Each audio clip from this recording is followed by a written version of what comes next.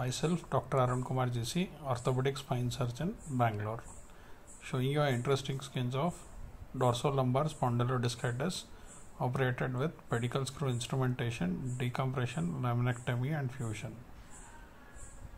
Patient was a postpartum lady who had bilateral paraparesis, unable to walk from past 15 days, presented with following position with little flicker of movements in the knee and ankle. After the surgery, the day 2, she was able to actively extend her ankle and knee to a power of 3 by 5. These are the post op x rays which were done during the follow up of about 6 months. This is how the patient walked after 6 months with complete neurological recovery.